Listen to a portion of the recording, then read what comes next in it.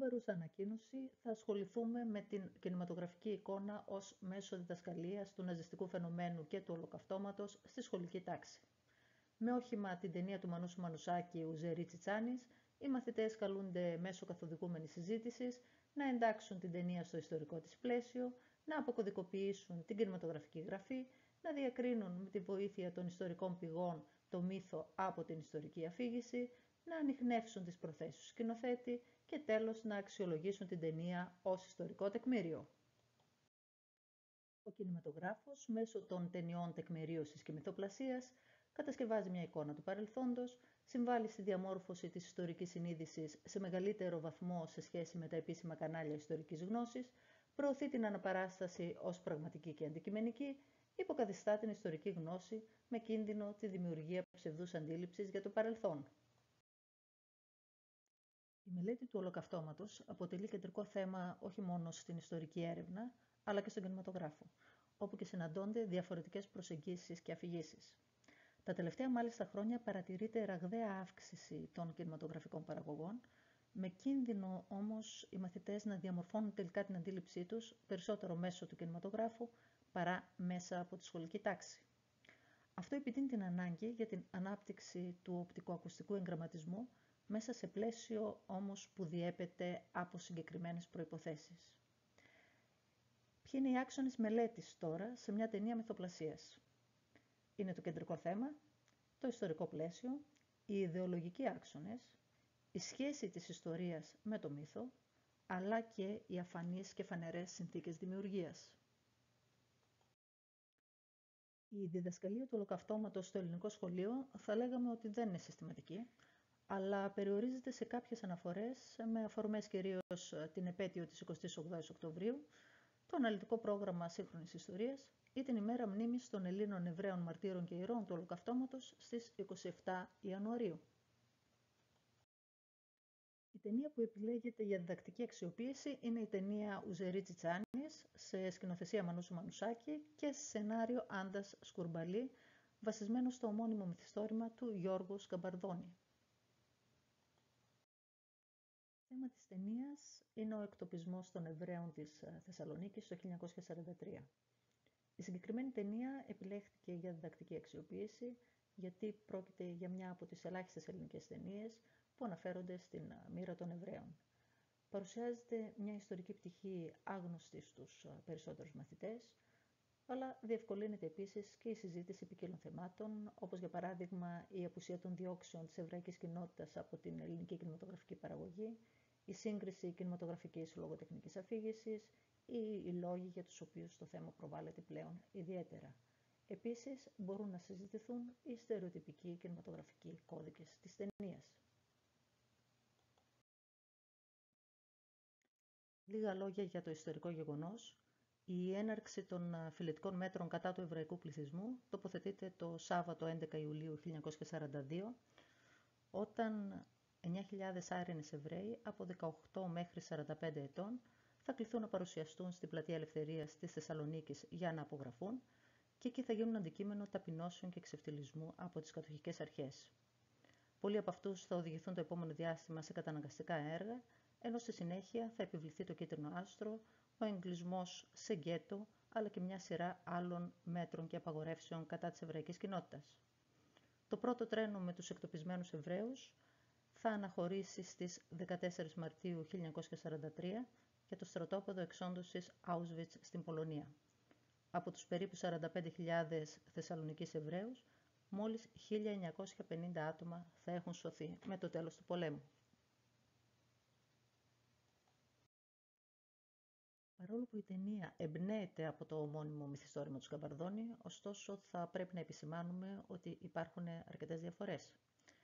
Η ιστορία ακολουθεί τα πραγματικά γεγονότα και αναπτύσσεται σε διάστημα 10 μηνών από τον Ιούλιο του 1942 μέχρι και τον Μάρτιο του 1943. Η ταινία αναπαριστά μυθιστορηματικά τη ζωφερή ατμόσφαιρα της εποχής, παρουσιάζοντας συγχρόνως το μοσαϊκό της κατοχικής Θεσσαλονίκης. Το κεντρικό ζευγάρι αποτελείται από τον Γιώργο, που είναι χριστιανός, και την Εστρέα, που είναι Εβραία, και οι δυο μέλη της αντίστασης, ενώ παρελάβουν πραγματικά και μυθιστορηματικά πρόσωπα. Θα πρέπει να σημειώσουμε ότι στην ταινία ακούγεται και μια βαριά βρισιά, αλλά υπάρχει και μια ερωτική σκηνή. Ιδιαίτερη σημασίας είναι η προετοιμασία των μαθητών πριν από την προβολή της ταινίας. Αρχικός σκοπός είναι η διερεύνηση της υπάρχουσας γνώσης πάνω στην οποία θα οικοδομηθεί η νέα. Επομένως, είναι απαραίτητη η επεξεργασία γραπτών και οπτικών πηγών, ενώ η οργάνωση της τάξης εναπόκειται στην κρίση του εκπαιδευτικού.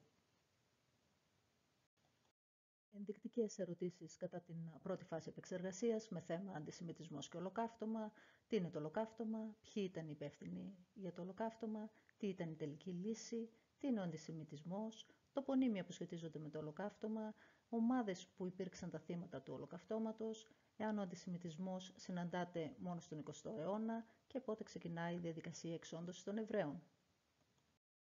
Στη δεύτερη φάση επεξεργασίας, με θέμα οι Έλληνες Εβραίοι, από πότε εντοπίζεται εβραϊκή παρουσία στην Ελλάδα, σε ποιες πόλεις, ποιες ήταν οι σχέσεις με τους χριστιανούς κατοίκους, πώς αντιμετωπίστηκαν οι Έλληνες Εβραίοι από τους Ναζί, στρατόπεδα στα οποία οδηγήθηκαν, πόσοι επέστρεψαν, γιατί η μοίρα των Εβραίων από πόλη σε πόλη ήταν διαφορετική να το ερμηνεύσουν με βάση τις πηγές.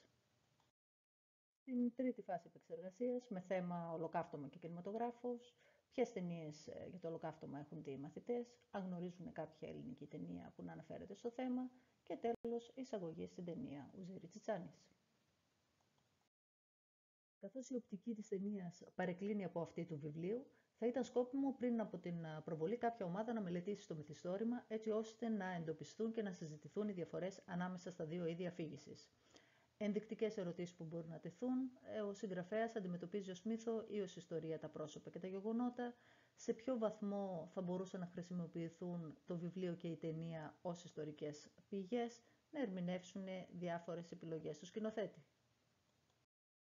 Λόγω της ε, πολυπρόσωπης αφήγησης, αλλά και για να διευκολυνθεί η ιστορική κατανόηση, θα πρέπει να γίνει και η διάκριση μεταξύ των σημαντικότερων πραγματικών και μυθιστορηματικών χαρακτήρων. Ενδεικτικές ερωτήσεις μετά την προβολή της ταινίας, ποιες ομάδες αναπαριστώνται στην ε, ταινία, πώς και γραφεί τους πραγματικούς χαρακτήρες του σκηνοθέτης, ποια είναι η στάση των χριστιανών Ελλήνων απέναντι στους Εβραίους συμπολίτες τους, των Εβραίων απέναντι στους χριστιανούς, εάν υπάρχουν στερεότυπα και για τις δύο ομάδες, να σχολιαστούν ενέργειες των Γερμανών, ποιες γλώσσες ακούγονται στην ταινία, τι προσφέρει ως προς την αληθοφάνεια των γεγονότων. Ποια στοιχεία δίνονται για τον τρόπο λειτουργίας εβραϊκής κοινότητας, πώς παρουσιάζονται οι διώξεις ε, κατά των Εβραίων, αν θα μπορούσαν σύμφωνα με αυτά που βλέπουν κάποιοι Εβραίοι να σωθούν και με ποιον τρόπο και αν τελικά η εξόντωση παρουσιάζεται στην ε, ταινία ή ο σκηνοθέτης το αποδίδει με κάποιον άλλον τρόπο. Όσον αφορά στην ανάλυση των στοιχείων της ταινίας, θα μπορούσε να συζητηθεί το κεντρικό πρόσωπο, ο Βασίλης Τσιτσάνιες, ο ρόλος των ε, σκηνικών χώρων, ο ρόλος της ε, μουσικής, αλλά και η παρουσία μελών της εβραϊκής κοινότητας στην ταινία. Όσον αφορά στη σχέση μεταξύ της αφήγησης της ταινίας και της ιστορίας, με βάση τις ιστορικές πηγές να σχολιάσουν οι μαθητές αν τα βασικά γεγονότα έτσι όπως παρουσιάζονται στην ταινία ανταποκρίνονται στην πραγματικότητα, εάν υπάρχει κάποιο γεγονός στο οποίο δεν παρουσιάζεται, εάν υπάρχουν σημεία στην ταινία που τους προβλημάτισαν, ε, ποιες γνώσεις πιστεύουν ότι τους πρόσφερε η ταινία, να συγκρίνουν με το βιβλίο, ποια θεωρούν ότι είναι τα θετικά και ποια τα αρνητικά αδύναμα σημεία της ταινίας ενδεικτικές εργασίες για το σπίτι, να περιγράψουν τα γεγονότα όπως παρουσιάζονται στην ταινία και να τα συγκρίνουν στη συνέχεια με την ιστορική αφήγηση, να ερμηνεύσουν τις πράξεις κάποιου χαρακτήρα ή να γράψουν μια κριτική της ταινίας.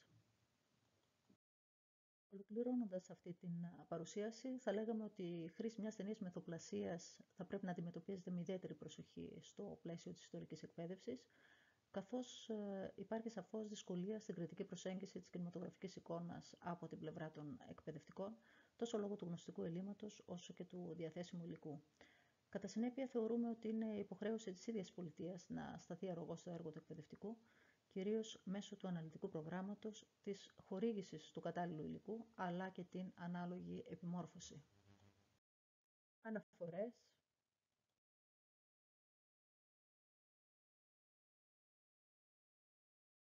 ευχαριστώ.